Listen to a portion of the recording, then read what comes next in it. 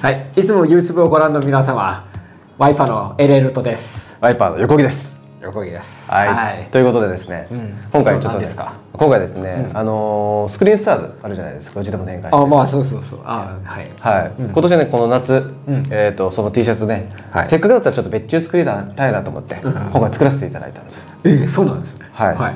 ということでね今回そちらのご紹介をしていこうかなとっていうことですね。はい。横木さん持ち込み企画っていう。そうなんですよ。はいその通りでごスクリーンスターズ懐かしいですね。す難しいですか？いや俺もう本当古着とかよくはい。行くから、うん。回ってる時にやっぱこうあの年代のタグ見てうん。引っかかりますね、なるほどフルーツ・オブ・ザ・ルームだとか、うん。そのなんかスクリーンスターズとかヘインズとか。あとジャイアントとか、はい。まあ、いろんなねあのああいうのをタグでやっぱ燃えるパターンがあるので。特に番長はね古着好きだから結構馴染みのあるブランドなんじゃないかなそうなんとですよ。スクリーンスターズ、はい。えなんかあの馴染みのあるブランドがそうそうそうそう、ということですね。まずあのスクリーンスターズとは何ぞやとはい。いうところからねご説明していきたいなと思うんですけど、はい。まあね番長はね、あの結構馴染みの深いブランドだと思うんですけど、まあまあまあね、はい。うん間違いなく馴染みの深いです、はい。はい、こちらまずスクリーンスターズの誕生といたしましては大体80年代頃なんですよ。あそんなに浅い。意外と浅いんはですね、意外と浅い、まあ、ちょっと70年代からあるっていうちょっと記述もあるんですけど、大体まあメインとしては80年代。ああ80年代か。まあ浅いって言っても50年前ぐらいか、まあ確かに確かにそういう形しますね。はい。はい。はい。で当時ねあの、はい。こちらのえっ、と、うスクリーンスターズというのが、あのフルーツオブザルームっていうブランド。ああはい。はい。はい。言ってた。まあね、うん、有名なね果物が書いてる、そうそうフルーツオブザルーム。パッケージが可愛いね。そうですね。であれの、えっと要はプリンタブルウェアとして開発されたブランドなんですよ。はいはい。要はプリントするために、えー作られた。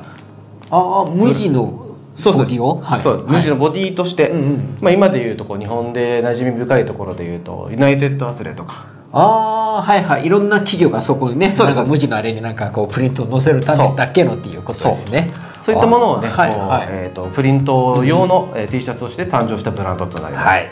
で当時あの80年代から90年代というのが、まあ、ロックバンドとあるとか、全盛期ですね。はい、あとスポーツ、えーはいはい。チームとか。そうそうはい。あとは企業とかね。企業とか。そういったあのなんでしょう、えっとはい。セールスプロモーションのために、要はいろんなプリント、えー T シャツを作ってたんですけれども、結構ああ確かに。時代背景的にそういったね、い。なんかこう世界公演だったりとかいろいろ回るワールドツアーだったりとか,、結構バンド T とかもね、そう。ものによっては高いものも結構あったりとか。いや自分もなのでバンド T 見る時はこういったねタグ見たりとかしますもんね。結構そこはい。で年代とか見ますよね。そうそうそう。スクリーンスターズでも年代判別ができるので、はい、ただちょっとねあの時代背景として、うん。まあ、中南米とかの、うん。ちょっとこのコストの安い、うん。まあ、T シャツとか、めっちゃ出ましたね多分、はい。中国とかね。そういったもの、のが結構ね、こう出てきて、うん。そういったところが結構流通するようになってきて、一旦このブランドとしては一旦90年代ですかね、はい。後半にはちょっと終了してしまうと。悲しいも、ま悲しくもね。はいあ、ただねこういった形で、あの本当に80年代に関しては、はいはい。本当全盛期でいうと1億枚ぐらい世界で流通あそんるぐらい。なに売れたんですそうなんです。それくらいめちゃくちゃ人気があって、はい。ブランド復活させたいというところで、はい。2008ファンが多かったからですね。そうそうそうそう、はいはい。だから2008年に、もう当時ねあのプリント加工を主軸主軸あの主軸に置いていた、はい。あのダイヤモンドヘッドという、うんうんうん。えー、とメーカーがですね、はい。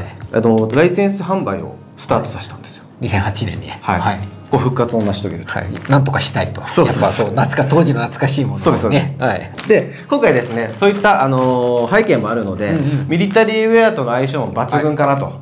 いうことで昨年ですね、あのーうちでも取り扱いを始めさせていただいたんですけれども、まあ、せっかくだったらね、うん。今回、あの別注とかも作りたいなということで、はい。この生産に当たったわけです。そうなんですね。もうちょっとワイパーでもね古着好きだったりとか、はい。そういったバンド好きな人多いので、はい。やっぱスクリーンスターズへのやっぱちょっと思い自分を含めて、うん。やっぱ好きな方いらっしゃったと思うので。そうですね。本当に古着好きの方ならねそうめちゃくちゃ結構思い入れあるあのブランドなんじゃないかなとそう。やけ。新品でっていうよりかはやっぱね昔なんか本当なんかもう探探しててなんとか現在もね、はい。こうやって出てくるのがなんか少し感無量。感無量。感無量。こちらの T シャツ、うあのお二人も着用しているはい。T シャツ、あの作らせていただいたんですけど今回完全別注？完全別注です。形とかですね。そうですもともとねあのベースとしてはこちらの、はうちでも実績のある、はい。あのヘビーウェイトのラウンドヘムの T シャツ、ちょっとここのストがあのラウンドしていてうんうん。8部だけみたいな、ああ面白いですね。はい。こちらにかなり実績があってですね、今回こちらあのシルエットとかもかなり綺麗なので、うんこちらの半袖バージョンということでこれ作らせていただきました、はい。こ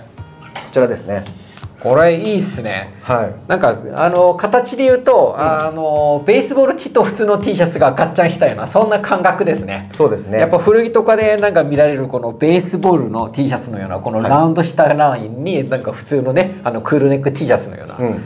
でなおかつ身幅がゆったりっていう。でかつまじあのまずね、はい生地からご説明させていただきたいんですけれども、こちらがですねあのガス焼き加工っていうのをしてるんですよ、はいだからあの要はよそれがですねどういったものかというと、うん。余計な毛羽立ちをなくすもの、加工になるんですけど、なんはい。でちょっとこちら触ってみていただくと分かると思いますねツルツルしてますもんね。だから本当着用感もねさらっと切れてねすごくあのあんま肌に張り付かずね結構さらっと切られる、ね。さらっとしてまあちょっとまた他のコットン綿100%の、はい。ね感覚とちょっと異なりますね。そうですね。ただ結構着心地に特化したような T シャツになっております。生地ですね、いい感じですね。でシルエットもねそのまま半袖切ったわけじゃなくて、こちら半袖そのまま切ってしまうとちょっとこの脇下がかなり短くなってたので、うんうん。ちょっとここのね袖の角度にわかります。はい。まっすぐするように半袖らしくね、うん。シルエットを若干変えて、うんあの半袖着た時に綺麗なシルエットになるようにせあのシルエットも若干変えております。いいっすね。これいいっすははい。い、でもともとこちらのタグがね、あのーく90年代のプレミアムタグをもともとのやつを採用してるんですけど、今回うちの別注では、もっと古いやつですよね。そうです。これ、はいこちら、えー、と大体80年代のですね、うん。紙タグ、あのよく見るのがこちらの赤いバうん、これですね。はい。ーなんですけれどもうちの別注ではこちらのサイドの横、緑を採用してはいますね、ミリタリーショップということで、大体オリーブに近いグリーンカラーを採用しております、でこしかも？ワイパーのロゴが入っております、これいいじゃないですか、はい。これめちゃめちゃ燃えるこれ。はい、これで正真正銘うちでしか買えないといったものになっておりますね。ん。はい、ということでですね、今回こちらですね、はいあのこだわりの T シャツできましたということで、今回別注、えー作らせていただきました。はい。本当にこちら夏の主役になるんじゃないかなと一枚になりますので、はい。ぜひね皆様あのご検ご購入のご検討をよろしくお願いいたします。お願いします。もう今やもはやみんな今までね欲しがってたスクリーンスターが、はい。もう新しいね新品で入ってこないと思ってたスクリーンスターが、はい。しかもワイパーの別注名で復刻したのでもうはい。これはね、もう希少価値ある意味高いんじゃないかなと逆に私は一人で思っています。しかもどうでもいいんですけど、はい。このタギタグもね紙タグもね、はい。どうせ切って捨てちゃうんですけど、はい。昔のね古着っぽい感じのチケットタグにしたので、そういったところもちっちゃいどうでもいいところもこだわっております。いやこだわり王子。ずっと落ち着ける、はい、ということでこちらですねはい。明日のですね19時からの販売となっておりますので、ぜひ皆様ね、えーご検討いただければと思いますよろしくお願いします。それでは皆様ご購入してください。それではまた。バイバイ